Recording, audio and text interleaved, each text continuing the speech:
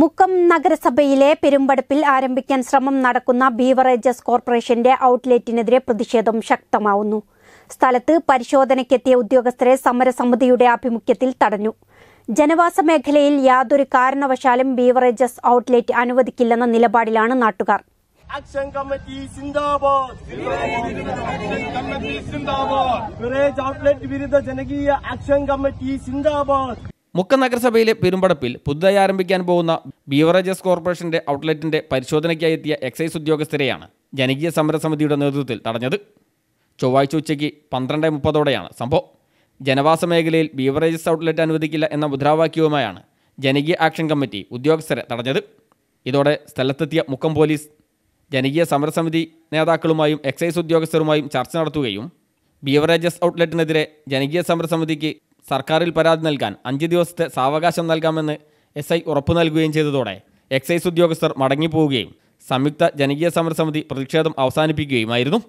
യാതൊരു കാരണവശാലും ജനവാസ മേഖലയായ പെരുമ്പടപ്പിൽ ബീവറേജസ് ഔട്ട്ലെറ്റ് ആരംഭിക്കാൻ അനുവദിക്കില്ലെന്നും സമരസമിതി നേതാക്കൾ പറഞ്ഞു. ഇന്ന് എക്സൈസ് ഉദ്യോഗസ്ഥർ വന്ന് ഇവിടെ വിദേശ മദ്യഷാപ്പിന് വേണ്ടിയിട്ടുള്ള ഇൻസ്പെക്ഷൻ നടത്താൻ വേണ്ടി തയ്യാറായി വന്നതായിരുന്നു. അപ്പോൾ ഞങ്ങൾ ഈ ഏരിയയിലുള്ള ഈ പ്രദേശത്തുള്ള പെരുമ്പടപ്പ് കാഞ്ഞിരമു ഏരിയയിലുള്ള ആളുകൾ സംഘടിക്കുകയും ഇന്ന് ഇവിടെ ഇൻസ്പെക്ഷൻ അനുവദിക്കില്ല.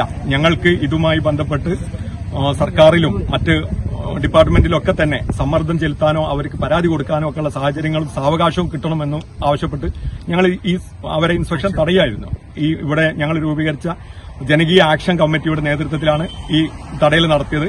ആ തടഞ്ഞതിന്റെ ഭാഗമായിട്ട് അവർ ഉദ്യോഗസ്ഥർ പിന്നെ ഒരു ചെറിയൊരു സാവകാശം കുറച്ച് നാലഞ്ച് ദിവസത്തിനുള്ളിലായിട്ട് ഞങ്ങളുടെ ഭാഗത്തോളം ഞങ്ങൾക്ക് ചെയ്യാൻ പറ്റുന്ന സർക്കാരിലോ മറ്റ് അതേപോലെ ഡിപ്പാർട്ട്മെന്റിലോ ഒക്കെ കൊടുക്കാനുള്ള പരാതികളൊക്കെ കൊടുക്കാനുള്ള സാവകാശം ഞങ്ങൾ തന്നതിന്റെ ഭാഗമായിട്ട് അവർ പിരിഞ്ഞുപോയി.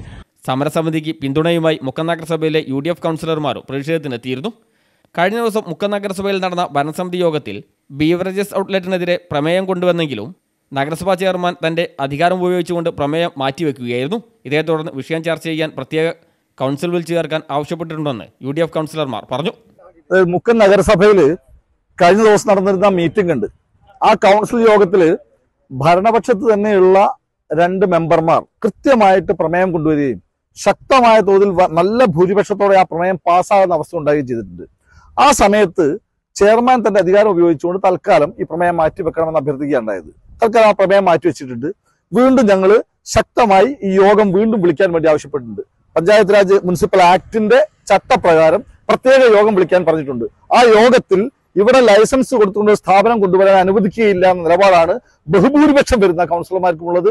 അതിൽ പാർട്ടിയോ മുന്നണിയോ ഒന്നുമില്ല. ഭരണ പ്രതിപക്ഷത്തുള്ള ഒരുപാട് ആളുകൾ അതിന് അനുകൂലമായി നിൽക്കുന്നുണ്ട്. News bureau Mukkam.